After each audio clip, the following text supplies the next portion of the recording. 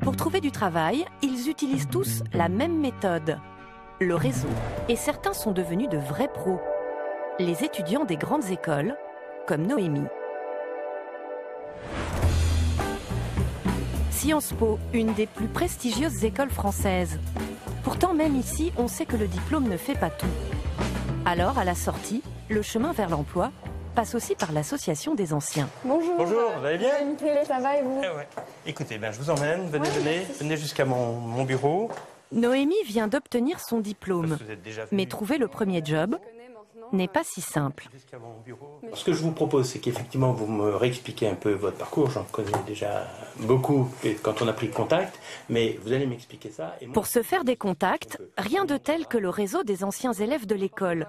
Et en matière de carnet d'adresses, le responsable, Promo 72, en connaît un rayon. Pour moi, le premier emploi, c'est quand même assez, euh, évidemment, assez important. Donc, euh, je ne sais pas encore exactement si je veux le faire en France ou à l'étranger.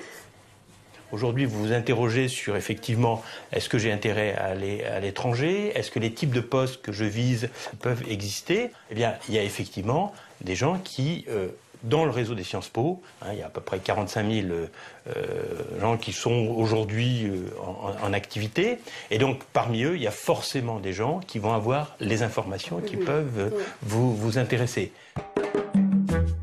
L'établissement a développé un véritable bureau de placement, une sorte de pôle emploi basé sur la solidarité naturelle entre anciens élèves. Et qui ne se limite pas à Sciences Po. Le réseau s'étend à Polytechnique, HEC, les mines. Une confrérie des grandes écoles où il suffit d'être diplômé pour accéder aux offres d'emploi qui viennent des anciens élèves.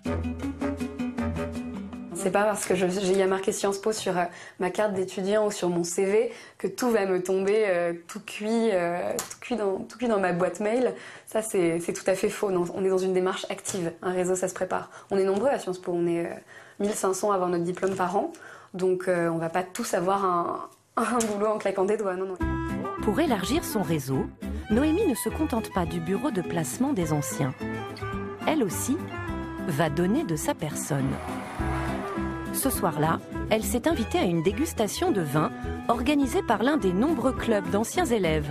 Club des amateurs de cigares ou des dîners littéraires, il y en a pour tous les goûts. Moi, je suis là pour apprendre. À votre contact. J'ai plus à apprendre que vous dans un domaine. L'occasion parfaite pour réseauter, l'air de rien. Et à ce petit jeu, Noémie est comme un poisson dans l'eau. Mon frère est dans le, mon frère est producteur de vin aux États-Unis, au Texas. Ouais. Ils ont une route des vins entre Austin et Dallas qui est très peu connue. Et euh, ouais, il fait très très chaud, mais parfois il y a du gel au mois d'août. Donc euh, Un moment d'échange plus convivial qu'un entretien et où l'on cultive un certain entre-soi. Ce qui est assez, agréable, c'est qu'on on sait qu'on est tous passés par euh, une école, donc on a, on quand même cette même culture en commun. Donc c'est pas un petit cercle fermé, mais on sait qu'on a quand même une, un, certain, parcours ou des choses dont on va pouvoir parler pour briser la glace, en somme. Et, euh, donc ça nous permet euh, très facilement d'échanger sans aucun souci et de, contribuer à créer une communauté euh, qui partage des, mêmes passions, des mêmes valeurs, peut-être. En partant, Noémie fait sa moisson de cartes de visite et de numéros de portable. Une démarche un peu intéressée mais assumée par tous, même ceux qui ont un travail. Est-ce que plus on a de réseau, plus on a de chances de trouver du travail? Moi, je pense, oui. Si c'est un- dans vos domaines de compétences, clairement. C'est là où vous recevez euh, l'offre avant qu'elle soit publiée.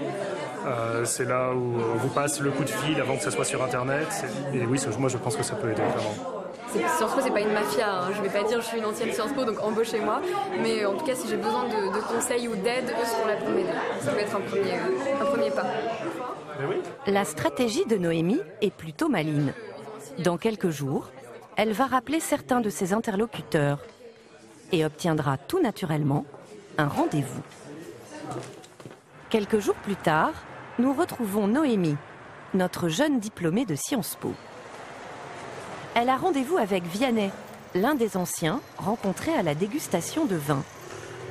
Il n'a pas de poste à pourvoir, mais il a accepté de la recevoir pour un entretien un peu plus professionnel qu'autour d'un verre dans une soirée. Bonjour Vianney, comment vas-tu? Comment vas-tu Bien et toi? Merci, merci, ça va bien. Entre, entre, Merci entre. beaucoup. Tu es en dernière année. Ouais, exactement. Tu, En dernier semestre de euh, master Affaires publiques. Affaires publiques. Ouais. Affaires publiques, mais c'est quand même le monde du vin qui te- qui t'attire. Exactement, j'ai envie de partir dans le secteur privé et si possible de euh, travailler dans un secteur euh, où la France excelle. Et donc je voulais savoir, euh, en venant de voir, quel était un peu toi ton parcours déjà, quel, quel est ton profil et comment tu es arrivé ici? S'intéresser aux recruteurs potentiels pour qu'ils s'intéressent un jour à vous, c'est la règle numéro un du réseautage. Tu voyages à quelle, à quelle fréquence à peu près? Alors, en ce qui me concerne, ça représente environ 90 nuits euh, par an à l'étranger. Si un jour Vianney a besoin de recruter quelqu'un, nul doute qu'il se souviendra en priorité de Noémie et de sa motivation. Je pense que ta démarche est très très est en avance, comme tu le disais, si la plupart de tes congénères font que des envois Que de d'emails, l'internet, Tu exactement. as 50% d'avantages ou 60% d'avantages. Enfin, j'entends souvent, j'entends parfois parler poste. Donc, Ouais. il y a toujours plaisir on- on- si on peut faire rentrer des personnes qu'on connaît dans le secteur, des personnes qui ont envie, euh, des personnes qui sont passionnées, c'est quand même beaucoup mieux euh, que ce que, je- ce que tu disais, les envois massifs d'emails euh, impersonnels. Mission accomplie pour Noémie et un contact de plus à ajouter à son réseau.